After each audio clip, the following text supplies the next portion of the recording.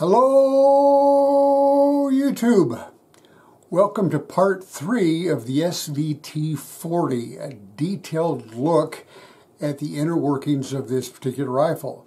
We're focusing today mainly on the gas system and the problems that I had when I took it out to, to shoot it. Um, so, yeah, I think part three. Hope you enjoy. Okay, disassembly of the gas system or forward part of the rifle all begins with this barrel band right here. And there is a, um, well, let me flip the rifle over so you can see.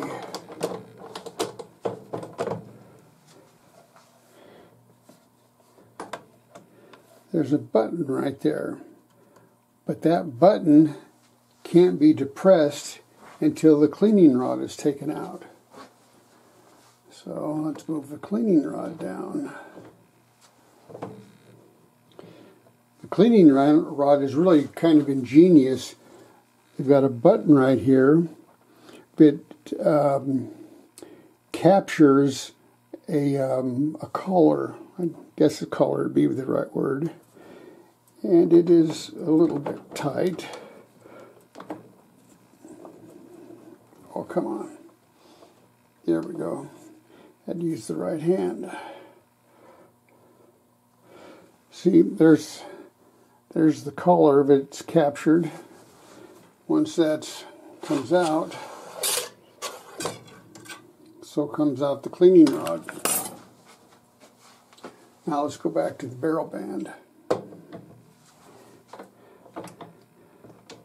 Now that that's now that the cleaning rod is out, you can depress the barrel band retainer and the barrel band will come off. I'm going to zoom out.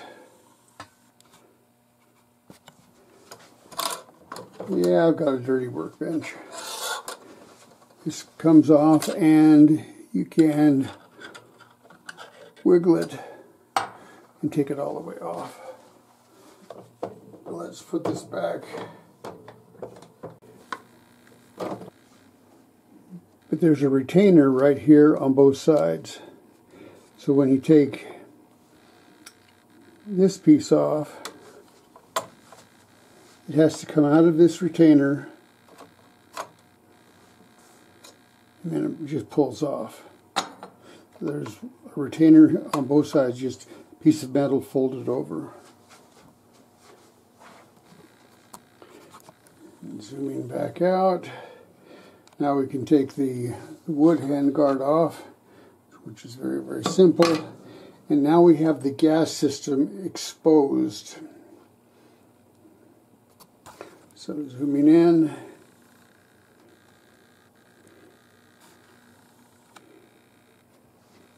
Here's the piston. Here's the, uh, the, the plunger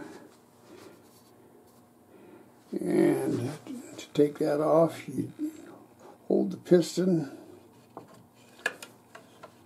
and pull out the plunger. Okay, now we're going to slide down here so you can see what's going on. This comes out. This is actually what pushes against the uh, the bolt. I'll show you that. I'm going to put the uh, put that back into the piston, and we'll move the camera. All right, that's the hole that the uh, the piston comes out, and I'm now moving the piston, and you can see it goes to right there. It hits that collar in the spring, and that's as far out as it goes.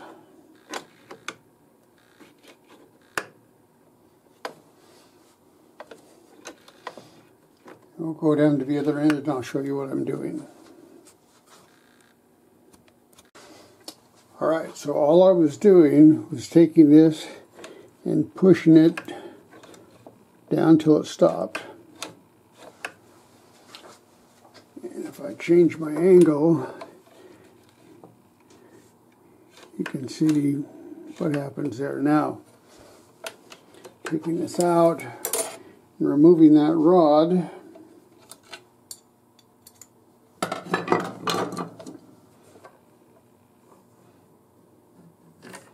there's there's the piston assembly.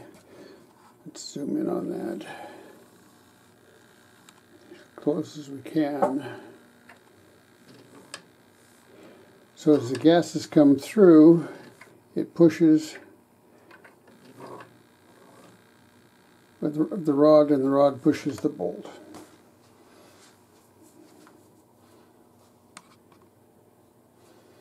Okay, and what makes all that possible is this little tiny um, adjustment um, well, I'm going to adjust, I'll call it an adjustment plate. So let's take a little bit closer look at that. All right.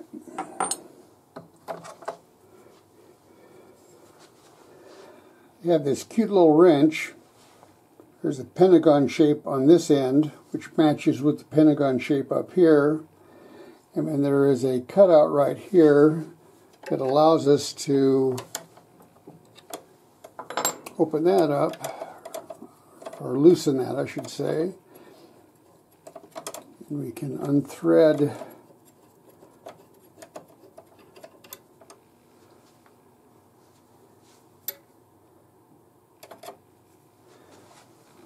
Well, it's going to be hard to see, but that's that's hollow inside.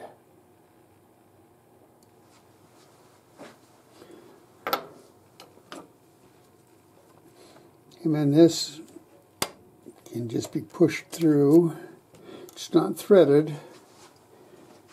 And I want to show you this up close as I can so you can see what's going on.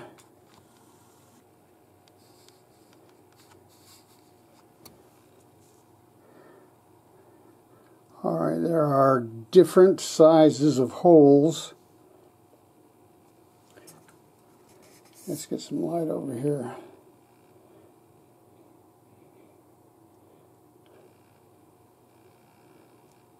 Different sizes of holes, and each size is marked like here's a 2,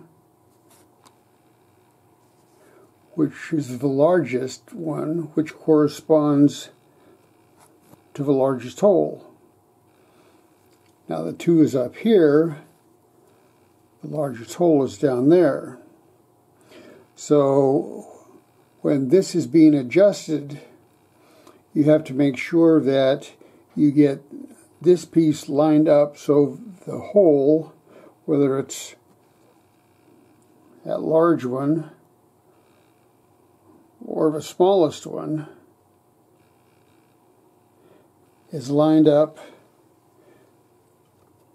with the hole in the um, in the barrel.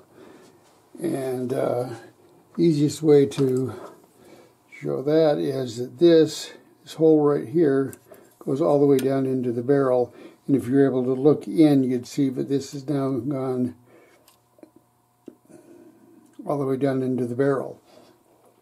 There's also a hole in here that allows the gas to go through, and this is what holds this entire assembly in place.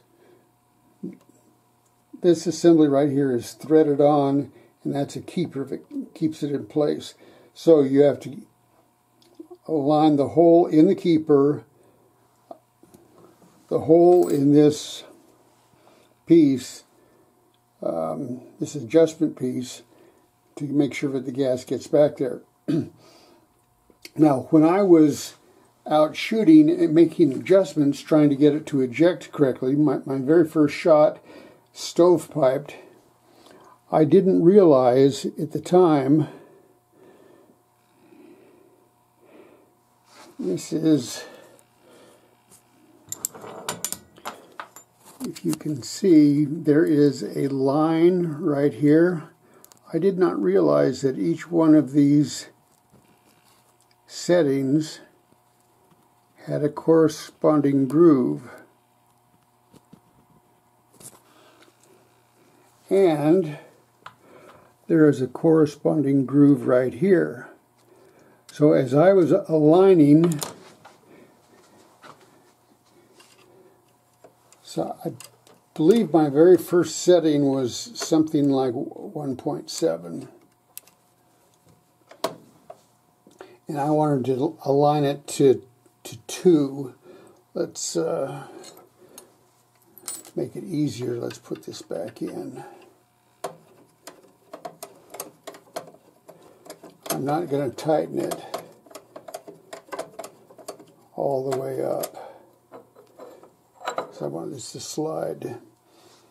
So when you put your wrench on here, your pentagon wrench, and you're changing it from position to position, see if I can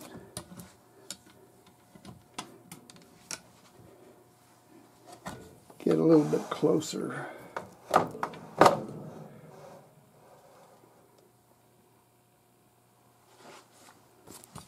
that, that might do it.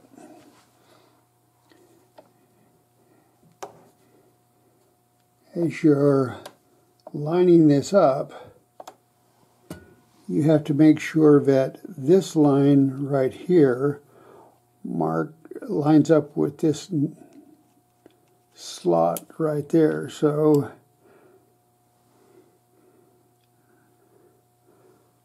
that would be about the right spot. All right, so there's the gas system let's put it all back together. I believe, well, I'm going to start, I'll start with two.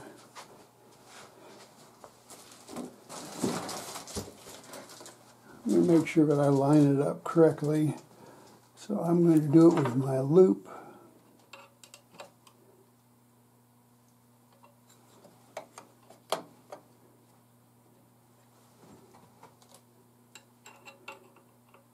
And the mark for 1.2 is now lined up.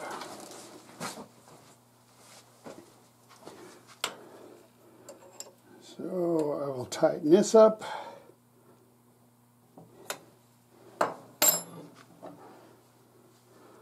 I'll put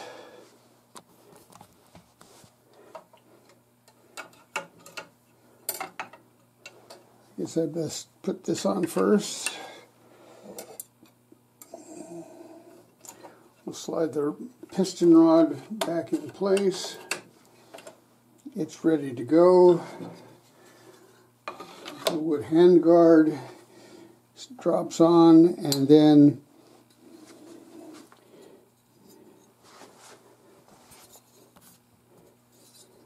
so you can see that this this flange, this turned flange right there, has to get underneath that retainer right there, which it is on both sides. So now I can put the um, the barrel band. It can be put on either either direction, depending on which way you want your sling on.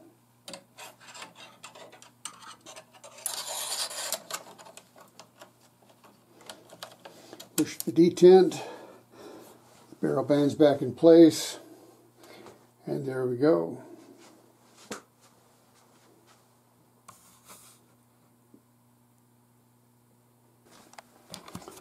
All right, on the back of the receiver is this little um, um, I'm not sure what to call it, but it uh, it's a little cover and you see this cylinder shape in there.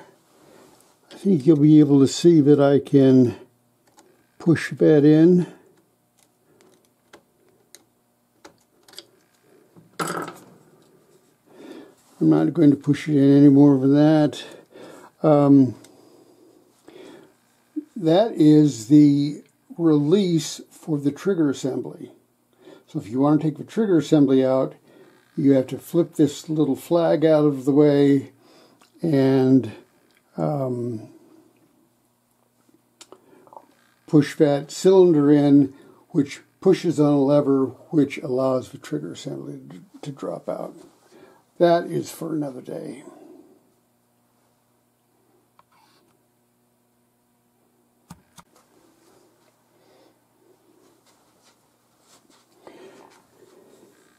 Now I have not done it yet, but if you take this all the way over to um, the 3 o'clock position, and this is supposed to come out. I have not done that yet. That'll be part of the next next next series.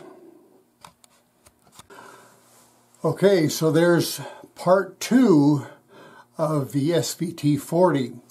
Um, the next time I put out a video on the SVT40, well, there's snow on the ground.